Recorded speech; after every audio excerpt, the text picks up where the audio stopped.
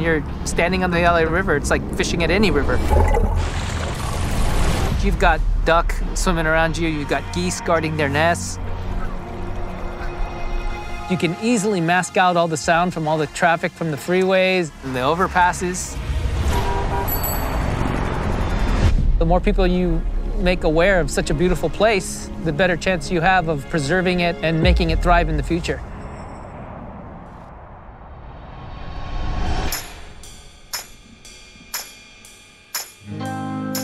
Lot of people like to exercise, a lot of people like to do yoga.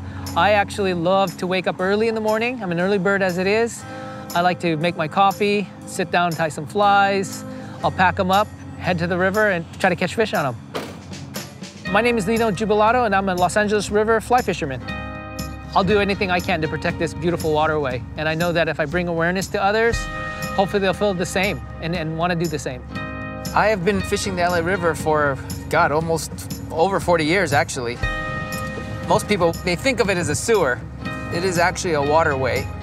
Up and down the river, there are natural sections that are just loaded with carp. I mean, the nicknames, sewer salmon is one of them, gutter grouper, Tijuana trout.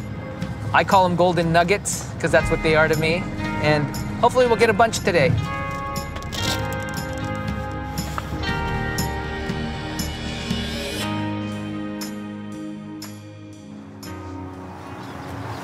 What's up, Annalisa? Hey, what's up? How are you? Good, good. My name is Annalisa Del Rosario, and I live in Los Angeles. I was like your materialistic girl who loved to travel and designer bags. But my love for the outdoors and travel really helped me fall in love with fly fishing. And so, slowly but surely, I was getting rid of my Chanel bags for my fly rods and meeting cool people like Lino and a bunch of other women. I love it. When you tell most people LA River, they don't think it's a safe place, but I could walk for miles and it was green, there were fish, and you hear this water in the sound, right? It's so therapeutic. Just keep an eye on that indicator. Okay, there it is. I'm in marketing and I have two children. It's just nice to get away from the hustle and bustle of the city. I grew up in the Philippines and I moved here when I was 12 years old. And fishing has been something that my family did, but I never did it. But with fly fishing, that's one thing that my mom doesn't like because I catch and release. There we go. nice job. yes, thank you. I love fishing with Annalisa. She is a ball of energy that I love to be around when we're on the water. It makes the slow days great days, happy days.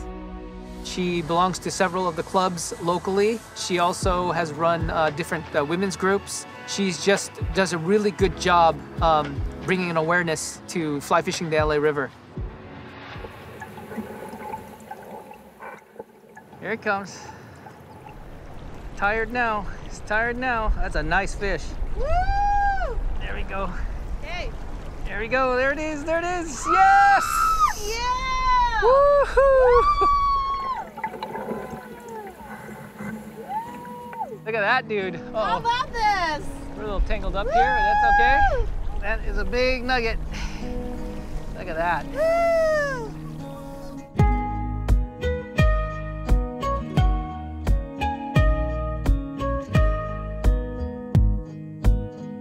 My name is Michael Affeldt, and I lead the LA Riverworks team in the Office of Mayor Eric Garcetti in the city of Los Angeles. I'm originally from the state of Michigan, been in Los Angeles about 16 years, and have been part of the LA River revitalization movement in office for about 11 years. I came out of the 90s environmentalism movement, a lot of pushes for recycling for the first time, a lot of rising public awareness. I knew I wanted to be an engineer, but I saw all the ingenuity that was born of engineering that had massive, massive negative consequences, side effects. I think the LA River seems to be a pretty good example of how our natural drive for progress and ingenuity, let's say engineering a waterway so that it doesn't flood the community, can have these negative consequences that aren't necessarily foreseen at the time. For centuries, the uh, Native Americans that were here relied on this LA River as, as, as their primary source of water um, and food. But what would happen is during the storms, without flood control, they would pretty much flood all the flats and all of the homes that they had surrounding it. So as time went on, I think it was in the 30s, the Army Corps of Engineers were asked to figure out a way to kind of control the, the flooding and then make it just wash straight down into the ocean. So they decided to encase the entire river in concrete. And so we have a very functional and effective engineered drainage system, but of course a severely degraded riparian habitat system, whereas LA used to be full of wetlands and streams and creeks. Now many of those are underground or paved over. You're getting runoff from all the sewers, all of the gutters on the streets.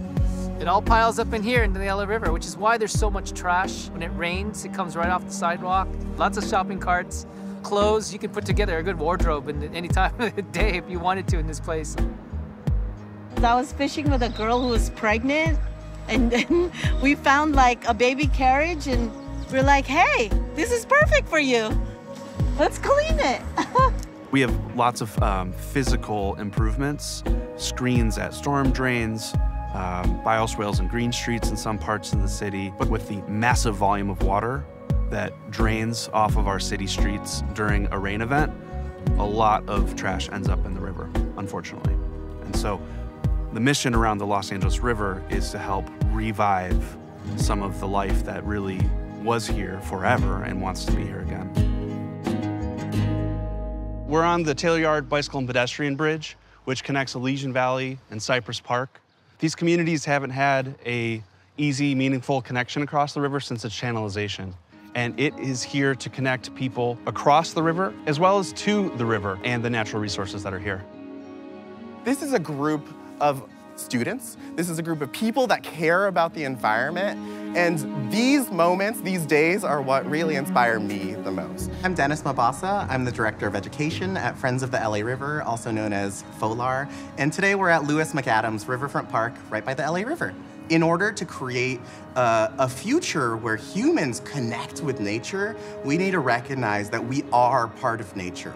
The waste that we're creating eventually goes somewhere. It goes into the LA River, and that's why we have to do these cleanups. The only way that we're gonna solve big issues like climate change, um, social justice issues, is through community level solutions. And that's why we need to focus on not things that I can do, but things that we can do. So we're gonna start with a little activity. Everyone, we're gonna feel our own heartbeat. So try to listen to your heartbeat. Feel the rhythm of it. And recognize the blood that's flowing through your veins is the same water that flows through this river.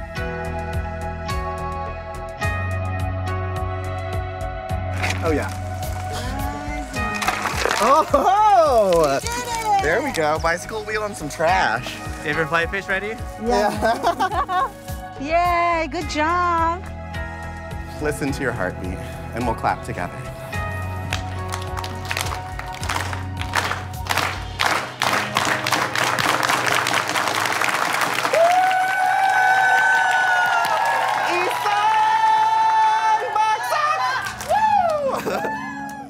Water is the absolute uh, essential connective element in life and society.